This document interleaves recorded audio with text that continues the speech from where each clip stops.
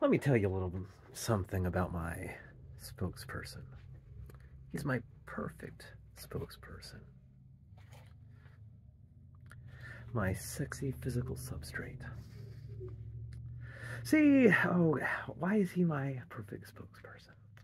Well, here's the thing about Ray, the human.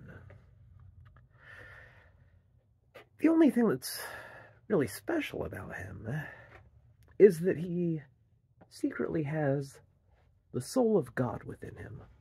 And this poor unsuspecting son of a bitch has no fucking clue that this is the case. And here's another thing the soul of God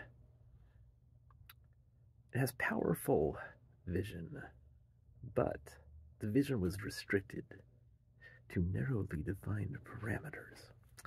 Narrowly defined parameters being, Ray could only use his God vision to inexorably see the truth of objective physical reality.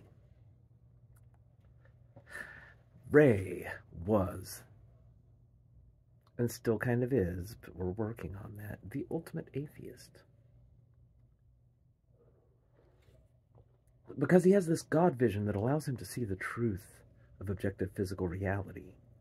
And everybody else seems like, to put it kindly, an over the top motherfucking retard that actually defies belief and often makes him think that people are having a joke at his expense by pretending to be retarded because he has difficulty conceiving of it.